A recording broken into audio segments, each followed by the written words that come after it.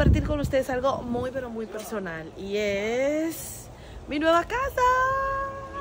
Vamos a entrar por el patio porque están, miren, trabajando, haciendo, la verdad, como que full remodelación de todo. Pero se los quería mostrar para que vivan esto conmigo.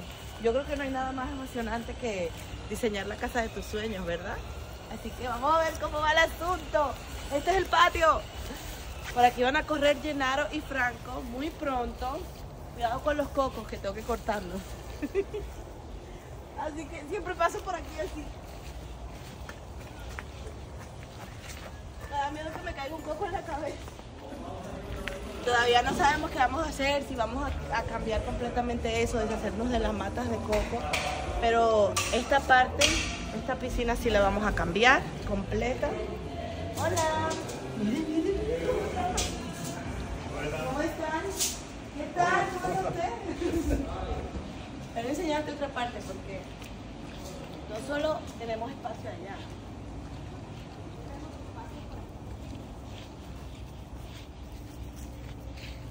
Los niños van a tener libertad de hacer lo que se les dé la gana en esta casa. Bueno, aquí tiene muchísimo espacio la casa, ahora que tenemos dos niños y pensamos en Ni siquiera me he recuperado del segundo, ya estoy pensando en el tercero. Pero vengan a enseñarles un poquito. Miren qué bonito, obviamente esto va a estar más bonito cuando ya vivamos acá, que arreglemos bien. Buenos días. Esta es la entrada, también la vamos a cambiar. Vamos a deshacernos de las columnas. Vamos a, yo la quiero como cuadrada y un poquito más imponente. Pero quiero que vean cómo es el antes, para cuando ustedes vean ese después impresionante, se queden así, con la boca abierta. Ya se en casa. Ah, pero es que ya están poniendo el piso. ¡Ah! ¡Están poniendo el piso ya! Vengan a ver, el piso yo lo quiero como tipo madera. Es lo único que les voy a enseñar por ahora. ¿Me pueden acercar? Con cuidadito. Lo único que les voy a enseñar para matar la sorpresa al final, pero la casa se va a ver así el. Como, yo quiero que sea todo como maderita.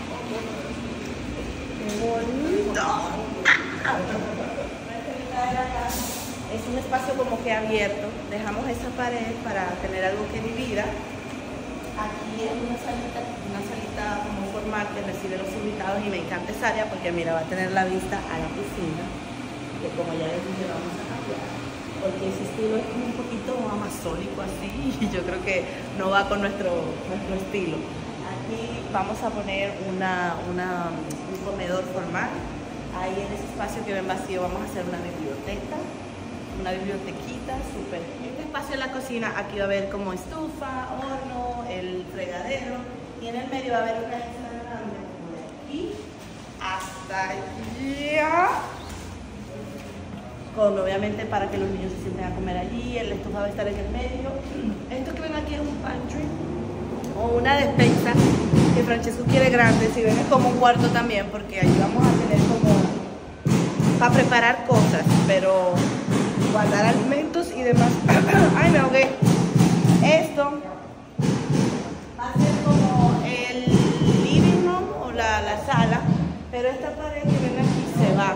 La vamos a tumbar una ventana, o sea que va toda esa luz y ese espacio y además va a ser como un efecto de ilusión que va a hacer lucir la sala y la casa muchísimo más grande.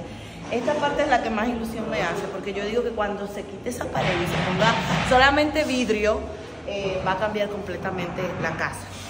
Esto aquí es una habitación que va a ser oficina para Francesco y también para visitas porque eh, pues nosotros siempre tenemos gente en la casa, nuestra familia siempre está aquí. Adentro está el baño, que si se preguntan por qué la casa está como tan destruida, pues es porque yo decidí meter todos los baños dentro de cada habitación. Esta casa inicialmente tenía los baños fuera de las habitaciones. Entonces al meterlo, pues se cambió toda la estructura de la casa y básicamente como si estuviera haciendo una casa nueva. Que esa no era la idea al principio. Al principio era de que unos toquecitos. Pero miren cómo terminamos. Con todo completamente deshecho. Ahora es el garaje que ahora lo están usando para guardar cositas. vengan por aquí. Yo creo que también cuando no hay piso ni nada puesto, las cosas se ven más pequeñas. Pero cuando esto esté todo puesto, se van a ver los espacios mucho más grandes. No se preocupen.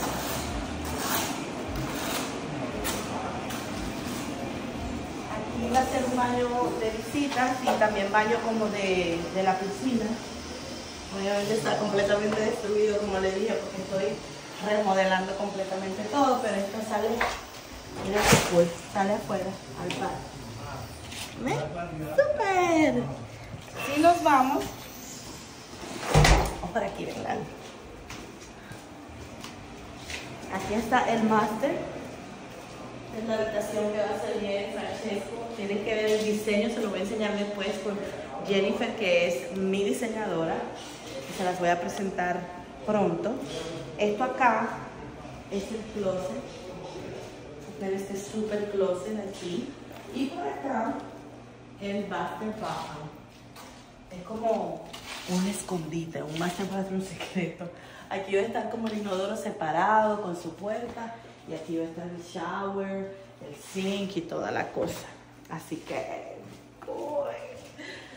me hace mucha ilusión porque quiero que sepan que todo lo que está haciéndose en esta casa es exactamente como yo lo quiero. O sea, mi, mi deseo, diseños aprobados por mí, ideas puestas por mí. O sea que eso me tiene muy, muy contenta. Es la primera vez que lo hago. O sea, uno siempre se muda como a casa ya hecha. Pero esta es como hecha a mi manera.